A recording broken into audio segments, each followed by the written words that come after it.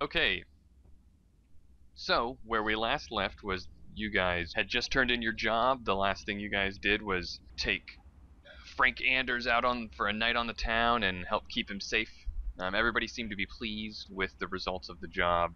Badger was definitely happy. That Frank seemed to be really happy and enjoyed hanging out with you guys. And you guys went your separate ways. Um, House, Yonkers, and Malibu went and watched the game together and did some fun betting. But um, uh, a week has gone by. Uh, it's Monday, June 9th.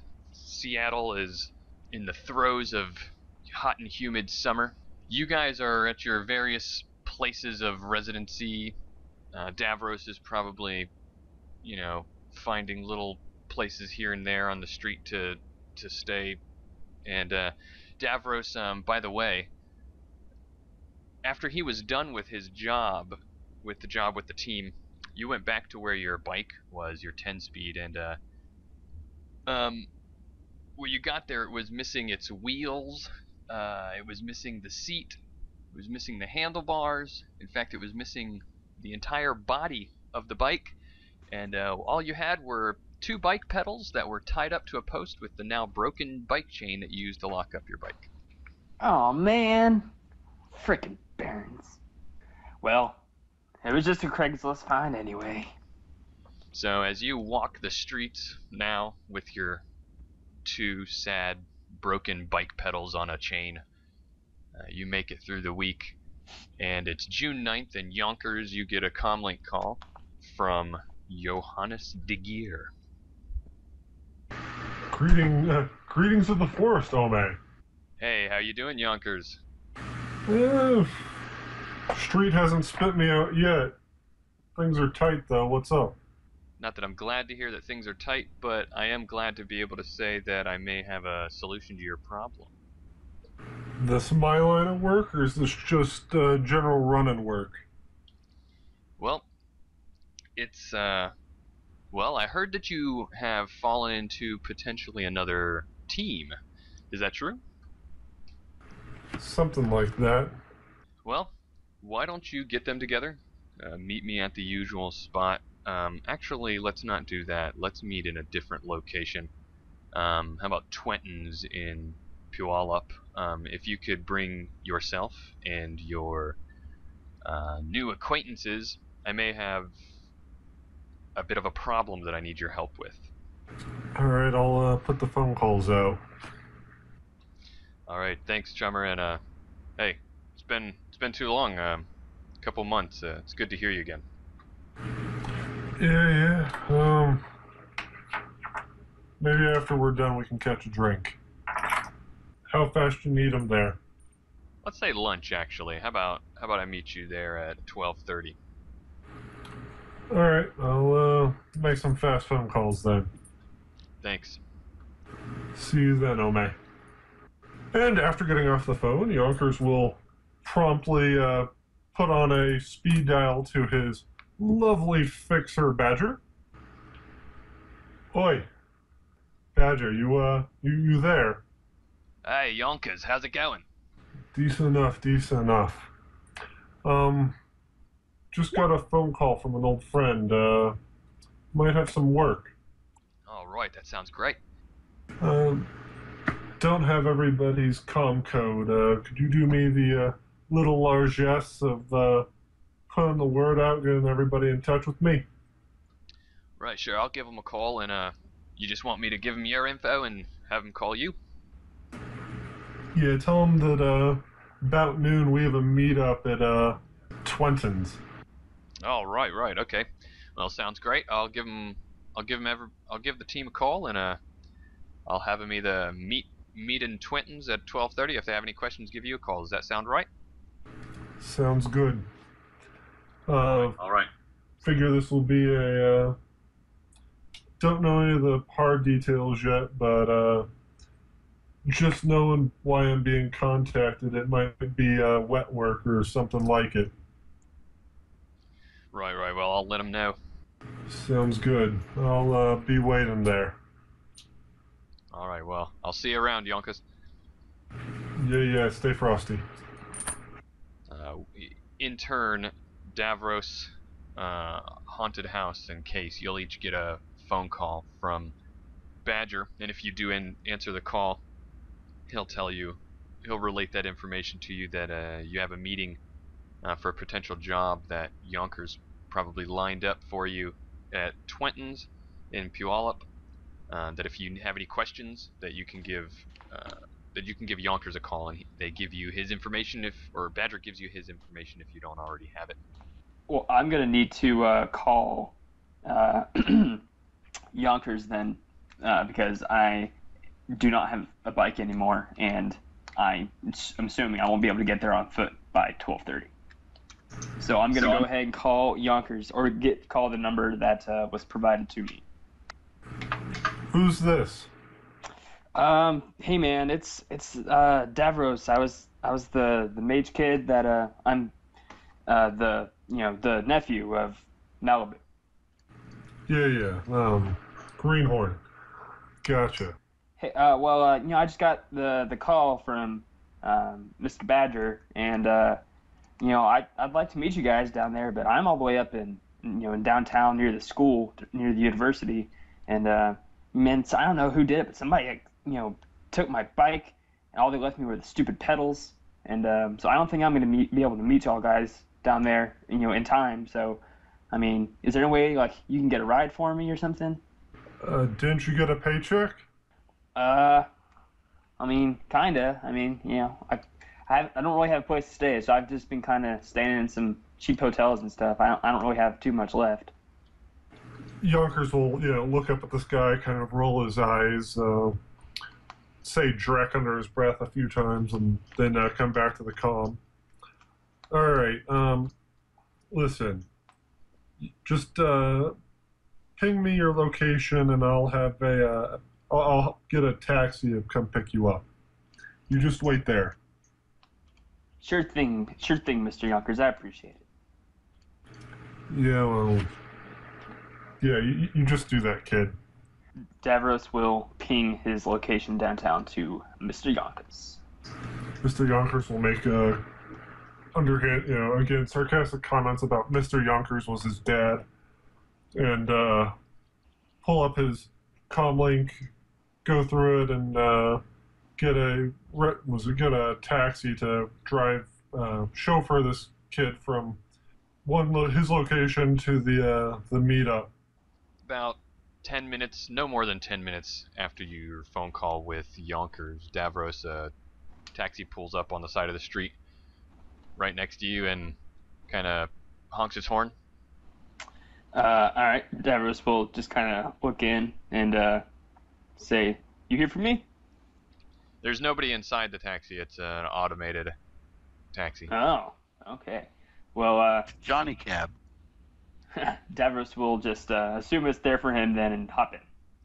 Alright, once you get inside, the door closes and you hear a voice that says, in sort of a calming, uh, but still somewhat mechanical way, says, Your destination is Twentons in Puyallup in the Seattle Metroplex.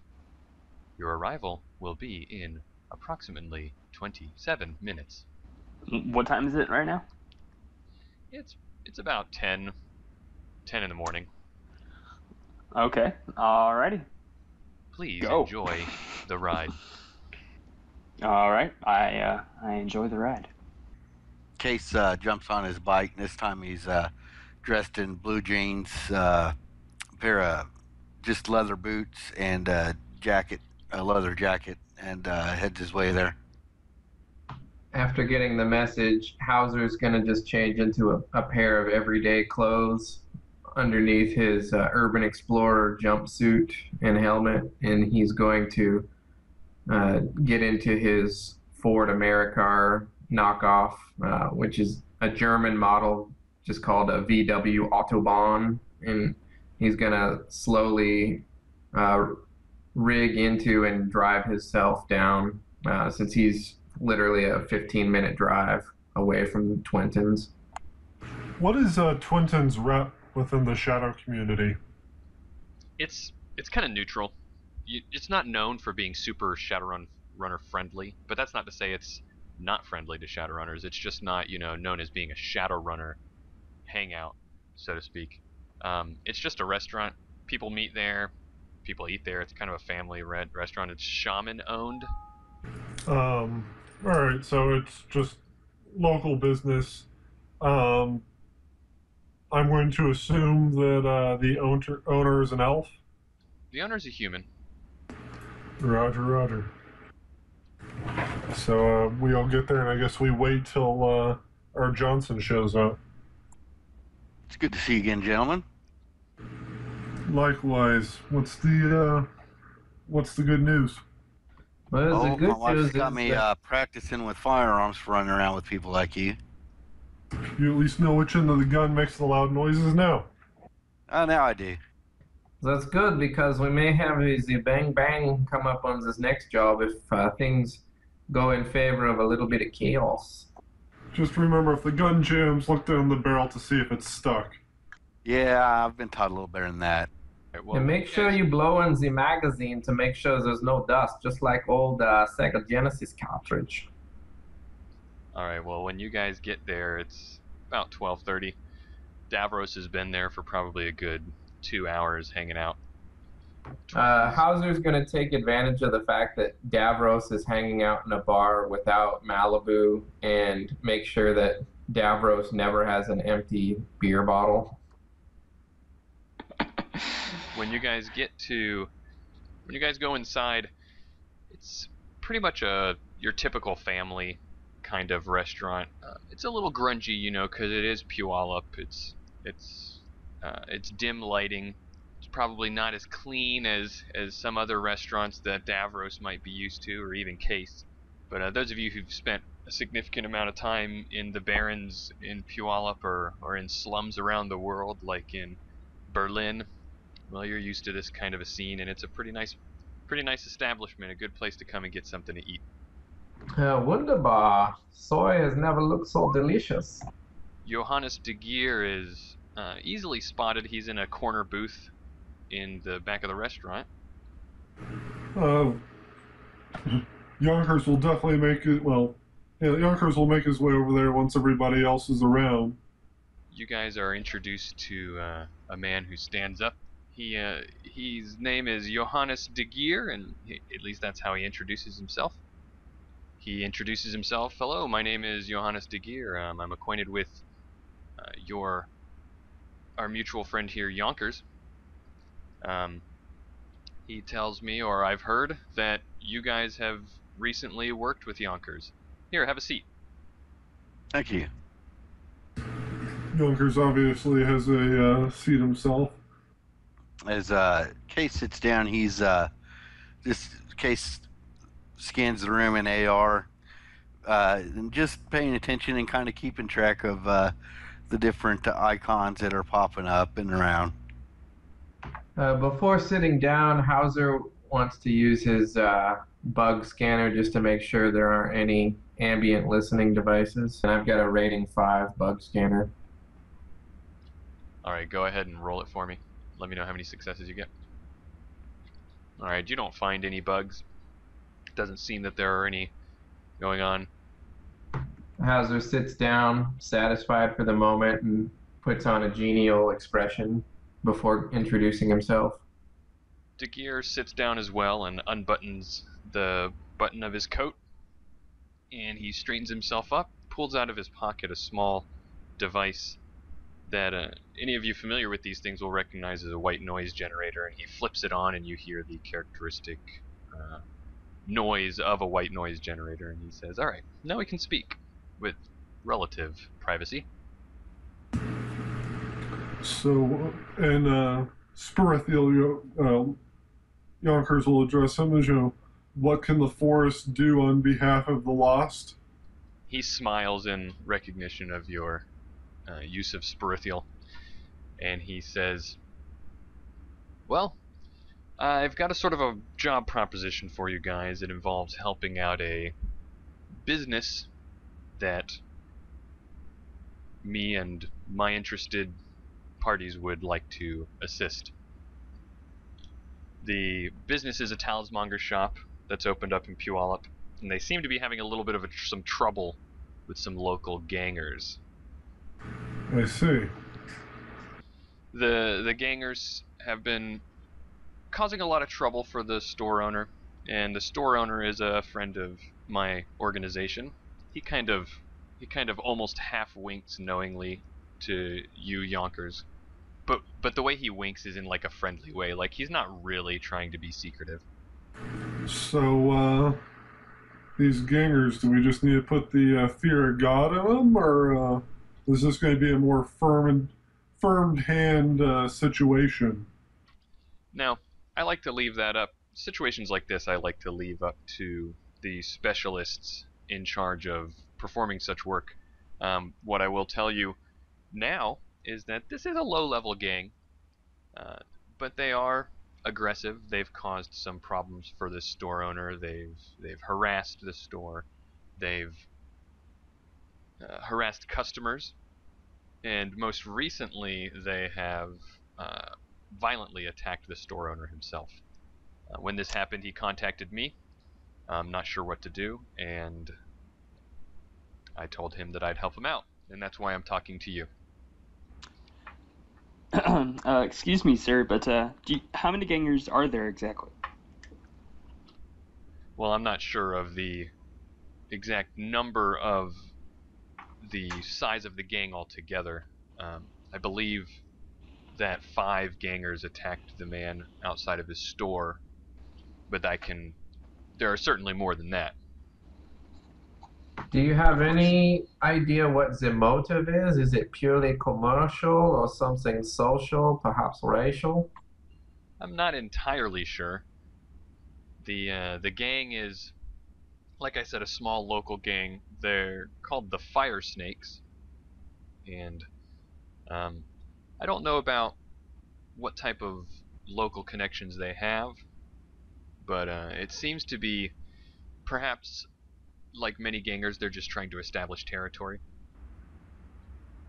If it was something more, would you be interested in the information? Absolutely, always.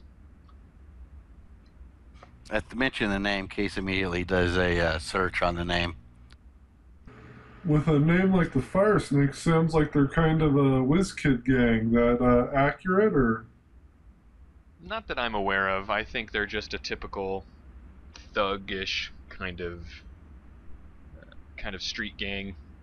They're not particularly overtly focused on on magic or anything.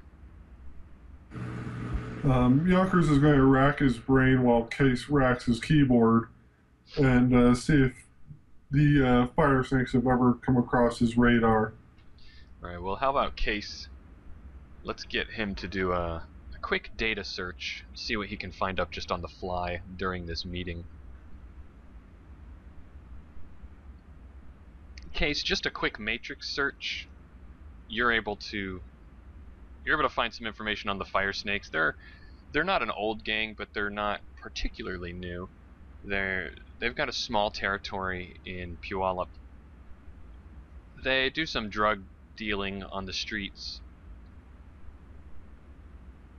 But other than that, other than that, you're not able to find a whole lot of information. Probably, uh, probably your street contacts. If you guys have any street contacts, they might be able to know more. But just a quick data search on on during the meeting isn't going to turn up anymore. All right, I uh, forward on that information to the to the group. James, are you back yet? Yep, I'm back. You have a knowledge skill that has to do with uh, street gang or gangs or, or anything like that. Looks like I got three successes. All right, yeah, as you know that you've heard of the fire snakes. It, it appears that they may have been heard to be working with the ancients lately. Um, I kind of quirk an eyebrow once that crosses. Um, Johannes, uh, I thought the uh, Laesa and uh, the uh, ancients were kind of uh, in a ceasefire at the moment, playing nice. Hmm. So I take it you've heard of the fire snakes before. Passing, but uh, always good to keep an ear to the ground. Yeah, it's true. Uh, the Laesa historically has a ceasefire is a good way to put it with the ancients. We kind of stay out of their business with the agreement that they're going to stay out of ours. We don't like it when our interests overlap. Apparently, the fire snakes have been. We've heard the same thing that the ancients have been talking to the fire snakes, trying to come up with an agreement. The fire snakes are willing to do some work for them so that the ancients don't push them out of what territory that they have. Um, I don't know necessarily if that's connected. To be honest, I haven't looked very deeply into it. I have a lot of things going on right now. The fire snakes have been pushing my talismonger friend a little bit harder lately, causing a lot of trouble. And, uh, well, we've agreed to help this talismonger out with the assurance that this talismonger friend of ours will assist us with some of our talismanging and arcane smuggling operations in return. We've told him we'll protect him, and that's why we've given you a call. It would be good to find out what's going on with the fire snakes, but um, but that's not that's not what you're being hired to do. You're being hired to put an end to whatever problems that they're having, and also to help keep him and his business safe in the meantime. Well, Mr. De Air De was it? Uh, I, I will accept the job, and you say you hope that this uh, talismonger w- might help you with smuggling in the future. Uh, I'm somewhat of a uh, smuggling expert over in the Allied German states, so if that comes to fruition, please also keep me in mind for future jobs. So he says, "Okay, uh, Mr. House, you're on board. Do I have the rest of you as well, Yonkers?" You know I'm always in. Though I have to be the uh, the old miser here and ask what the paycheck is, just on a formality. Of course, I I would think that you'd been losing your edge if you hadn't have asked. The pay would be nine thousand new yen total. All right. Well, that uh, tends to indicate that you want these people scared more than dead. All that we care about is that our talismonger friend is able to have a thriving business when this is over. Understood. If this goes well, there will be more work in the future. I know about Yonkers, your aspirations with the Laesa, and I know I've promised you to some help in the past. Some things are falling into place, and I can probably get you some future work with our organization if this goes well. Understood. All right, well, I am glad to hear that you are on board. The Talismonger shop that I need you guys to help with is a place called Rasputin's Secret. It's a little shop in, in Puyallup. Um, I'll give you the address here. It's the corner of 260th Street East and 70th Avenue East. Go on there, find the store owner, tell him that de Geer sent you, and he'll know why you're there. He should be able to give you some more information. Any other questions? I think I'm uh, good. Is there any sort of timetable you want this cleared up by? It's hard to say. There's no strict timetable. Uh, he is having an ongoing problem with harassment at least, and apparently violence at worst that needs to be mitigated as soon as possible. So if you don't mind heading over there at as soon as you're able to, to at least talk to him and start maybe watching over the place if he needs that, um, and just start working with him immediately. But uh, I imagine this would probably at least take a little bit of time, a couple days, maybe longer, depending on how you want to go about it. Of course. Anyone else have anything? Um, no, I, I think this sounds like it's a pretty pretty standard job. Honestly, we we just go do a little bit of investigation, and then conflict is inevitable. So it just depends on whether we choose to do it near the shop or we try to trail them back to some sort of gang or turf. Davros just heard 9,000 new yen, so he's that's all he can think about right now. So he's good with it. Hey, uh, Ioannis, uh, might have a bit of a shopping list I might ask you to uh, toss in. or rather, just two things I might want from you. Mm, yes. What do you? What is it? Need two frags. Well, it's not necessarily something that I can get you directly. I might be able to get you in touch with somebody who can if you need it soon. Otherwise, I would just suggest uh, going to wherever you get that type of thing. Anyway, if you could uh, do me the small largesse of covering it, I can, uh, with those two, probably make sure that you will uh, never again have problems with these kids. Give me a give me a negotiation roll, and what's your loyalty with him? Loyalty three. Yeah, throw that in as a dice pool modifier. Got four successes. He says, "Yeah, that's not a problem. Uh, just let me know how much it costs, and I'll throw that the cost in of that as well. Anything else, or can I count on you guys to handle the rest of this on your own?" Consider it done. I believe we can take care of this. Este kaput. He Let's do it. up- He stands up. He turns off the white noise generator and buttons his coat. As he does, he picks up his drink and he finishes the rest of it in a quick gulp, and then nods and walks out. Well, uh, we should probably go somewhere else to uh, start planning uh, what to do next for our uh, extracurricular activity. Uh, my place is not that far away if you want somewhere locally that we can plan and just get moving. Um, I'm going to need to go back to uh, my place and at least pick up my stuff, and then I can meet you there. Okay, Hauser uh, transmits his address over comlink over to Case. Yonkers is going to uh, get a taxi over the crime mall real quick. Hey, I'll just uh, I'll just grab a, a ride with you, Mr. House, if that's okay. Uh, wunderbar, Herr uh, Witch Doctor. You can ride uh, in the back, uh, premiere style. Ah, sweet, thanks. So Case runs to the house, runs in, grabs his uh, armored jacket or an armored vest since uh, he's, there's going to be some action, and make sure his deck is all powered up. And as he's running out, uh, his wife screams out to him, "Honey, you want your gun?"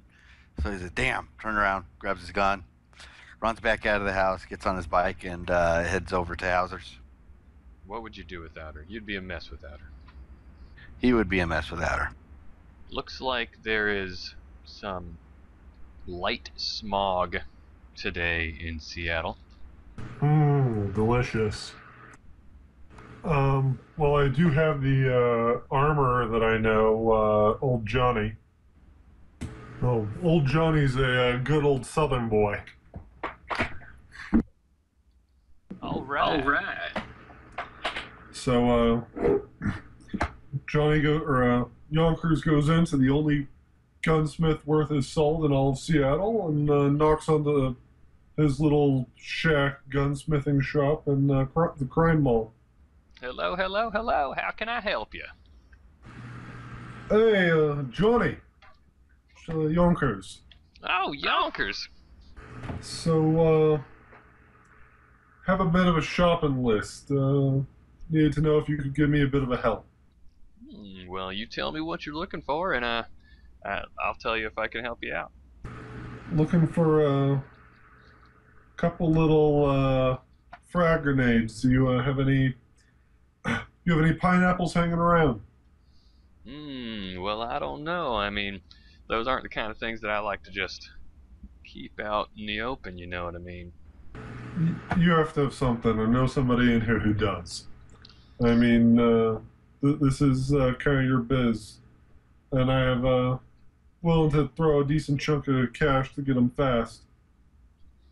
All right, all right. Um, well, how much how much money we talking about here? And I might be able to make no promises, of course, but I might be able to help you out. Well, let's uh, let's start. Uh, I need two, so let's start at four hundred. All right. Well, uh, that sounds promising.